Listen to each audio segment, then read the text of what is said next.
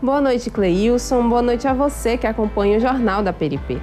A quarta-feira tem previsão de muitas nuvens e possibilidade de chuva isolada a qualquer hora do dia nas três regiões. Agora, vamos saber as temperaturas.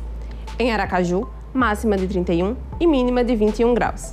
Em Tomar do Geru, também máxima de 31 e mínima de 21. No município de Cumbi, no Médio Sertão Sergipano, a máxima é de 31 e mínima de 22.